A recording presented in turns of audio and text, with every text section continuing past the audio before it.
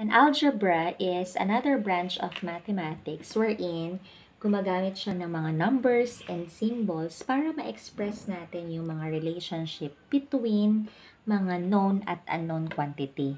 So, it is important na malaman muna natin kung ano yung mga terms na ginagamit natin for algebra. Okay, the first one, ito yung constant and variable. So, first, ano ba yung pag sinabi natin constant? So, pag sinabi natin constant, ito yung mga number or symbol wherein meron siyang fixed value. So, pag sinabi nating fixed value, ibig sabihin ng fixed value, ah, hindi siya nababago.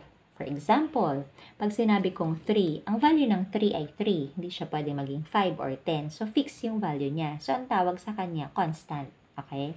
So, for example, pag sinabi kong negative 12, ang negative 12 is negative 12. Constant din ang value niya. Fix ang value. Kaya ang negative 12 is a constant. Or pwede rin siyang symbol. For example, pi. Ang value ng pi ay 3.14. So, ito yung commonly na ginagamit natin sa circle wherein fixed din ang value niya, kaya constant din siya. So, ibig sabihin, lahat ng numbers ay constant kasi meron silang fixed value. Okay? Next is the word variable. So, pag sinabi naman nating variable, ano ba yung variable? So, pag sinabi nating variable, ito yung mga letter na ginagamit natin to represent any unknown value. So, ginagamit na natin to during elementary. For example, ng elementary, pag sinabi kong 5 plus n is equal to 8 Etong n na to na ginagamit natin during elementary, variable yan. Ibig sabihin, ano yung unknown value? Siya yung nagre-represent using the variable. So, ano kaya yung value na i-add mo to 5 para maging 8? So, nire-represent siya using the variable, yung mga unknown quantity or unknown value. So, commonly, ang mga variable, ito yung mga letters na nagre-represent na mga unknown quantity. So, lahat ng mga letters sa English alphabet, pwede natin gamitin. You can use A, you can use B, you can use C, D, and so on up to letter Z. So, pwede yon Okay? So, usually, ang variable ay, ay sinusulat using the small letter. Okay? Next is, kapag pinagsama naman natin yung mga constant and variable, makakabuo tayo ng term. Ano naman yung term? Ang term ay pwede siyang maging constant, pwede rin siyang variable, or pwede rin siyang product ng constant and variable. So, pag sinabing product, ito yung process ng multiplication. So, product ng constant and variable. Okay? So, for example, pag sinabi kong 8, ang 8 is a term. Constant yan. Okay? Pag sinabi kong xy or xy, term din yan. Kasi mga variable yan. Okay? Or it could be a product of constant and variable. Pag sinabi kong 5b, for example, may constant, merong variable, product siya. So, sa algebra, hindi na tayo gumagamit ng x as a sign for multiplication. So, understood, once na nakita natin yung constant and yung variable na magkatabi, understood ng operation na ginagamit doon is multiplication. So, that is 5b. Or ibig sabihin yan, you are multiplying 5 by the value of b. So, ang tawag dito ay term. So, this is a term, this is a term, and this is another term. Okay? So, next. Sa isang term, ang kada term ay nahahati sa dalawang part. Okay? So, for example, pag sinabi kong 5b, this is a term. Okay? Isang term siya. Ang isang term ay nahahati sa dalawa. So, ito yung tinatawag nating numerical and the other one is the literal coefficient. So, itong constant dito na 5, ito yung tinatawag nating numerical coefficient numerical coefficient. At yung letter or yung variable, ito naman yung tinatawag nating literal coefficient. Okay? Yung constant factor, ito, 5 is a number. Sabi natin kanina, ang mga number ay constant. So, lahat ng constant number, ang tawag sa kanya, numerical coefficient. Yung mga variable naman, ang tawag sa kanya ay literal coefficient. Okay? So, ang term ay nahati sa dalawa. Yung numerical part and the literal coefficient. So, another example. Let's say, ang given natin ay For example, ang given natin ay a cube b squared. Okay.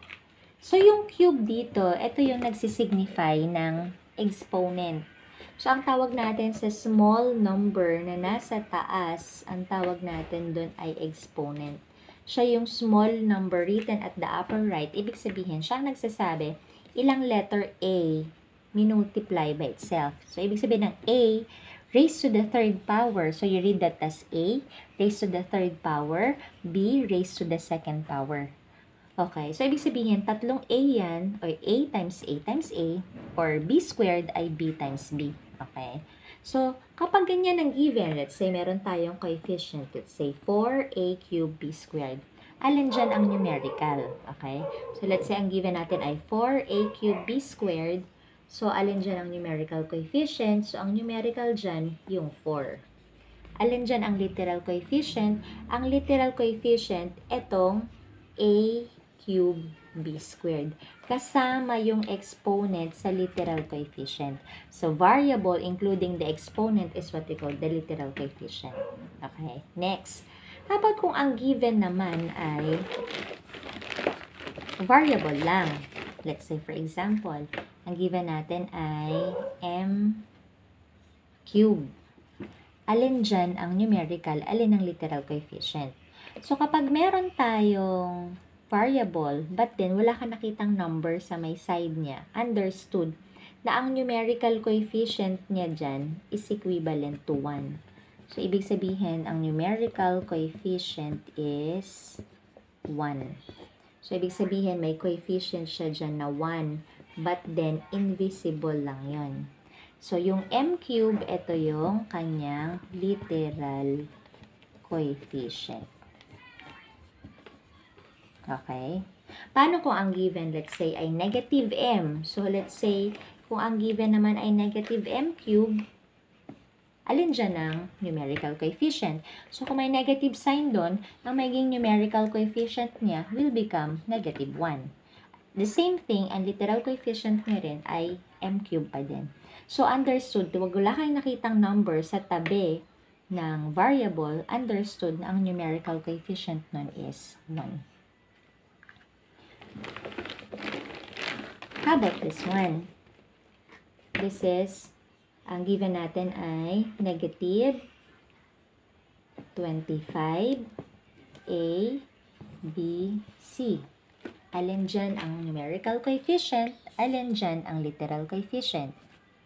So, the numerical here is negative 25. That's correct. And the literal coefficient is A, B, C. Siya yung literal coefficient. Alin dyan ang constant number? So, ang constant dyan, yung negative 25. Alin dyan ang variables? Yung A, B, at saka C. Okay? So, lahat ng letters doon, ang tawag doon ay variables. So, pag pinagsama-sama natin yung bawat term, including the, numer including the operation, ang tawag na sa kanya ay algebraic expression. So, pag pinagsama-sama natin yung mga term, for example, let's say meron tayong 4AB plus 10. So, meron tayong term, this is term, this is another term. Paano natin malalaman kung ilang term meron? Kapag sineparate na siya ng plus and minus sign. So, for example, 4AB, meron na tayong plus sign. So, ibig sabihin, this is one term, 4AB, and 10 is another term. Okay? Alin dyan ang constant? So, ang mga constant dyan ay yung 4 at saka yung 10. 4 is a constant number and 10 is a constant number. Alin dyan ang variable? So, pag sinabi naman natin variable, ito yung mga letter. So, ano yung mga letter na nakikita natin? So, A at saka B. Okay? For example, for this term, 4AB, alin dito ang numerical coefficient? So, ang numerical coefficient dyan ay 4. Okay? So, in the term 4AB, ang 4 dito, ito yung numerical. At yung AB, ito yung literal. Pag meron na tayong combination ng mga numerical, constant, variable, including the operation, ang tawag na sa kanya ay algebraic expression. So, pag sinabi nating algebraic expression, ito yung, it's either a constant, a variable, it's a combination of a constant and a variable, including at least one operation of fundamental operation.